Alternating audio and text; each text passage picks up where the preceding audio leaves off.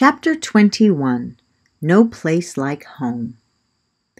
Meanwhile, Hoagie had tried to follow Katie, but she was too fast. He wished he had Dipper to travel on, but instead he had to find Katie on his own. It was a large farm. Where could she have gone? Think, Hoagie, think, he told himself. He began to ask and answer his own questions. What is she trying to do? Hmm, talk to her parents. Okay, how is she going to do that? By getting out of the farm. How is she going to get out of the farm? Hmm. The gate! I've got to get to the gate! Completely out of breath, Hoagie booked it as fast as his teeny legs would carry him. He squeaked wildly once he saw Dipper and Dr. Shimko at the gate. When he finally reached them, he had a horrible pain in his side from running and thought his lungs would burst like a water balloon. Huffing and puffing, Hoagie leaned against Dipper. Have you seen Katie, Dipper? Hoagie sputtered. Uh, yeah. I think she jumped on me and flew over the fence, Dipper stammered. What? What do you mean you think she flew over the fence? Hoagie was astonished. Just what I said. One second she was here next to me, and the next second I felt a big thing jump on me, and she was gone. Dipper still couldn't believe it. None of this made sense to Hoagie. Sure, he had seen Katie Popcorn many times, but to use Dipper as a trampoline to jump over a fence? No, he couldn't imagine Katie ever doing that. Dr. Shimko gasped with surprise as the little hamster squeaked to Dipper, and Dipper seemed to answer him with soft mumbles. Are you guys actually talking to each other? Dr. Shimko asked. The two animals glanced at Dr. Shimko and continued their conversation. Maybe I can try to jump over the fence too, Hoagie said as he crawled up on Dipper's head. Hoagie gave a few hops, but of course he wasn't able to jump very high. Dr. Shimko let out a clear whistle when he noticed Hoagie jumping up and down on Dipper's head. Dr. Shimko could have sworn he saw the feisty little hamster quickly nod in the direction of the fence. Dr. Shimko finally decided to unlatch the gate. Hoagie and Dipper bolted toward the water. Hoagie really wanted to run all the way to his herd, but his tiny legs felt so heavy like huge stones.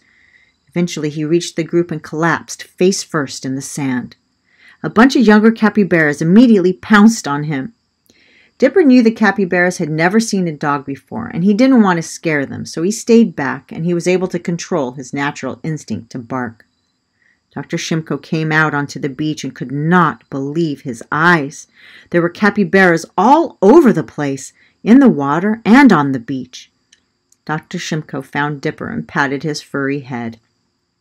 Good boy, Dip Dip. What a good guy, Dr. Shimko said.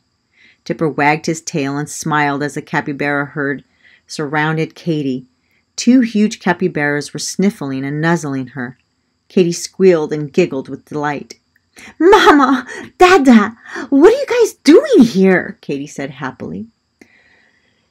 Your flamingo friends told us all about your journey, how you were cornered by an ocelot, how you were living with a furry monster, and how humans trapped you in their territory. At first, we were scared that you would be forced to stay in a cage for the rest of your life, but your friends told us that you were happy and doing just fine, said Mama Kenzie. Didn't they tell you I would be coming home soon? I was going to rest a bit before heading home, Katie insisted.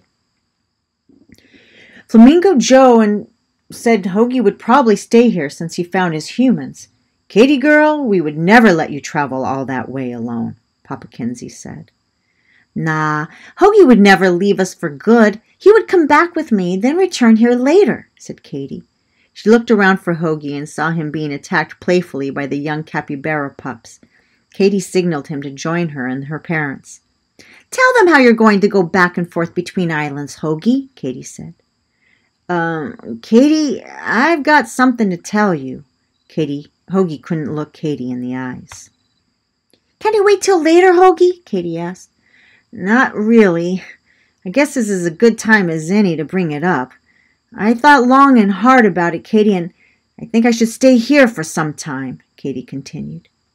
Yeah, I already know that, Hoags. We talked about you living in both places. Now you got to tell Mama and Papa your plan, Katie said. I'm afraid I was wrong about that plan, Katie. It's not going to work. I'm too small, and it would take too long for me to return to our island all the time. It would be too hard, Katie. But Joe and Poppy could help you, Katie insisted. For how long? We can't expect them to help me forever. They need to live their own lives and raise their own families, said Hoagie. Joe's face got very red. He didn't want to start thinking about raising his own flock just yet. Meanwhile, Katie was trying to understand what Hoagie was saying, and she wasn't taking his news very well. Hoagie was also having a hard time coming to terms with leaving his capybara family. He knew Katie would visit him when she could, but he found it impossible to imagine not seeing her every day. Both of the friends started to sniffle, but before their tears fell onto the sand, Mamma Kinsey spoke up. Chins up, my darlings. Don't fret. I have some good news of my own. Katie and Hoagie and Katie wiped their noses and listened. Mamma Kinsey continued. When the flamingos told us about this island and its abundant fruit and safe beaches, we had to come and see it for ourselves. And what Joe said was absolutely true. Papa Carl and I have decided that it is finally time to relocate. Our island has become more dangerous lately, and on this island, we have found our new forever home. Hoagie and Katie stared in disbelief. Their eyes were round like dinner plates and their mouths opened so wide they could have swallowed a fly. Much to everyone's surprise, they both started crying out of sheer joy. By this time, Dr. Shimko had phoned the house to have his daughter Melody come out to the beach. When she got there, she was amazed at what she saw. Capybaras, young and old, were frolicking in the lake and bouncing on the sand. Two flamingos were flying in different patterns and directions overhead. But the most surprising thing of all was Melody's hamster Hoagie, acting like he was a member of the group, romping in the middle of it all. Melody pulled out her camera and took a picture. This special moment would be forever frozen in time. Melody and her father understood this group of capybaras was probably the young capybara's family. It was obvious they all belonged together, and it was also very clear that Hoagie was part of their clan. The little capybaras were nuzzling him, and he was happily rolling around like a tiny tumbleweed. It warmed the Shimko's hearts to see their little Hoagie having so much fun and being part of a large capybara group. The Shimkos were excited to have these unusually large rodents as their neighbors. The humans started toward the gate, and Melody turned and spotted Hoagie on top of his friend's head. His little face looked worried. Did she think he was going to leave her forever? Was she sad?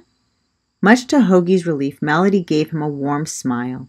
He knew that that smile meant she would be back soon.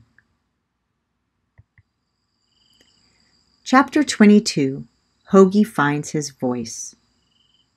A few weeks after the capybara clan settled into their new home, Dr. Shimko created yet another special doggy door leading out to the beach. This one was quite large, as it was meant for a growing capybara to crawl through. It was also different because it would only open if given a secret password. The secret code was on a tiny chip inserted under an animal's skin near the neck. The animal would approach the door, the secret code could be read, and click, the door would unlock and could be pushed open. Poor Hoagie and Katie were very scared the day they got their microchips. Katie purred like a car engine and Hoagie kept squirming. However, they were both relieved when it was all over and they weren't hurt. With their secret code readers, they would be able to visit the beach and their clan whenever they wanted to. The first night Hoagie and Katie were able to join the herd on the beach, they threw the best party the island had ever seen. The only party, but still. By the light of the moon, Dipper helped some of the pigs and goats sneak out of the big doggy door. Even the geese flew over the fence to see what the commotion was about, and though they would never admit it, they had a rip roaring time. Hoagie thought the best part of the evening was when he was finally allowed to perform. At first, he was nervous because he would have stage fright again. Before his performance, he went off alone. He had all the privacy he needed behind a large tree as he took many long, deep breaths. Hoagie wet his lips and began his vocal exercises that he knew so well. Me mo, my mo, moo. How much wood could a woodchuck chuck? he belted. Then to himself he said, What exactly is chucking, anyway? Lastly, he closed his peepers and pretended he was on a grand stage with different colored lights shining down on him. Hoagie imagined himself singing every word clearly and perfectly, while his fans applauded loud as thunder. When he opened his eyes, he knew he was as ready as he'd ever be. He made his way back to his friends and family. Hoagie stood on a large rock, puffed up his chest, and cleared his throat. The capybaras covered their little ears, like they usually did. Hoagie took a deep breath and belted out a single note. It wasn't half as bad as everyone expected. In fact, it wasn't bad at all. Then Hoagie added to the note until it became a full sentence. One by one, the capybaras unplugged their ears. By the time Hoagie had completed his first verse, the entire audience was listening closely, closely. And once Hoagie began the chorus, everyone joined in. That night, Hoagie sang his little heart out. Everyone was stunned to find Hoagie's voice had deepened and his tone was as smooth as butter. They loved his singing so much the capybaras all begged for another song. Hoagie sang a total of four songs, delighting everyone. That night, as Hoagie and Katie were curling up for a nap on the warm sand, they chatted about their new home and how lucky they were. They were so thankful they had found a great and safe place to live. I can't believe I found my girl again. I mean, what are the odds? Hoagie gasped. And I can't believe there are so many mangoes on this island, Katie whooped. I feel like I am living the best life. My human family and my capybara clan together in the same awesome place. What more could a hamster want? Hoagie couldn't be happier. Over the years, many tales were passed down to the little capybaras about how Hoagie and Katie were the first brave explorers to travel distant lands and finally settle on Dulce Island. Of course, the story changed from time to time. In some tales, the flamingos were giant eagles and the goats were large moose with antlers as sharp as teeth. In other tales, the pigs were wild boars with twirly tusks, and the chickens were yappy green ducks. The only animals which stayed the same throughout all the stories were Dipper and the geese. Nobody could make up a better version of them. To hear Hoagie and Katie tell the story, you would think the island's natives were perfect. Every animal, every fruit, every bird, and of course all the humans were adored. They thought their island was absolute paradise. Well, it kind of was. This wouldn't be the last of Hoagie and Katie's adventures, of course. They would go on to explore other islands and visit old friends like Philippa, the poison dart frog. Over time, Hoagie and Katie would make a bunch of new friends, animals the Shimkos saved, wild creatures on the other side of the fence, and even the little hummingbirds who feasted on the trumpet vines in the Shimkos garden. At one point, with the help of Flamingo Joe and Poppy, Hoagie and Katie even went back to their old home to visit old friends and check on Squirt, Dots kept her promise and never bothered them again.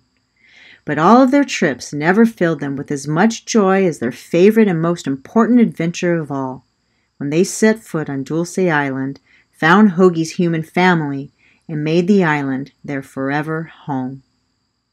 The end.